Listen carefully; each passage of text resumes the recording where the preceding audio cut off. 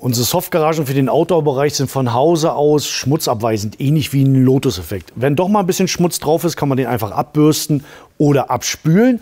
Ja, und wenn man einen Vogel seinen Kot hinterlassen hat, dann einfach ein bisschen Seifenwasser machen, weiche Bürste und einfach ausbürsten. Dann ist er auch weg.